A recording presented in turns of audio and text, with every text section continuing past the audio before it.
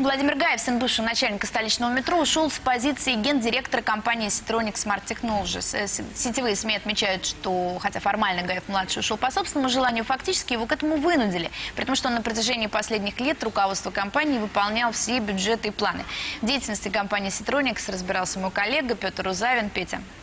Да, Маша, снова здравствуйте. Citronics Smart Технологий, которую возглавлял Дмитрий Гаев, имеет монополию на производство бесконтактных карточек для прохода в метро. А его отец Владимир Гаев входил, кстати, в совет директоров Citronics с 2006 года, однако по итогам отец Дмитрий Гаев с 2006 года соб- э, входил э, в совет директоров, но э, на последнем, в новый, как бы после переизбрания, в новый совет не попал.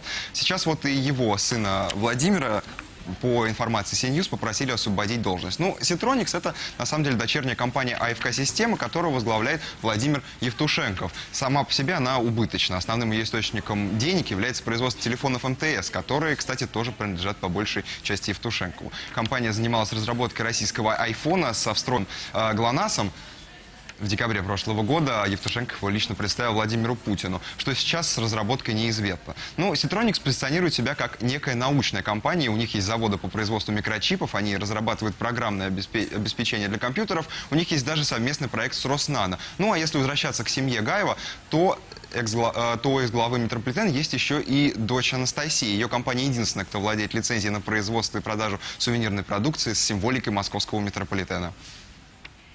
Спасибо, Петя, мой коллега Петр Узавин.